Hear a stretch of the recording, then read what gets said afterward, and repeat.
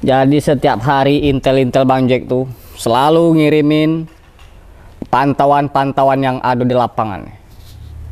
Nah, ini ada salah satunya nih.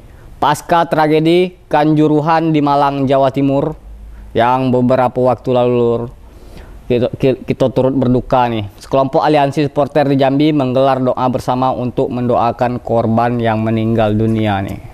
Ya, mudah-mudahan diterima di sisinya ya. Ini sangat disayangkan lur. Kayak mana pantauannya? Kita tengok di pantauan Bang Jack.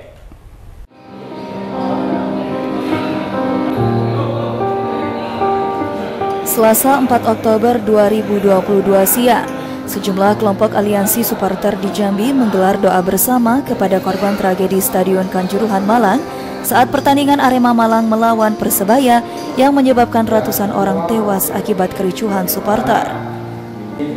Pelaksanaan doa bersama ini digelar oleh Polresta Jambi, pemerintah kota Jambi, dan PSSI kota Jambi di Masjid Baitur Rahman Polresta Jambi. Aksi tersebut merupakan bentuk empati dan solidaritas sesama rekan supporter.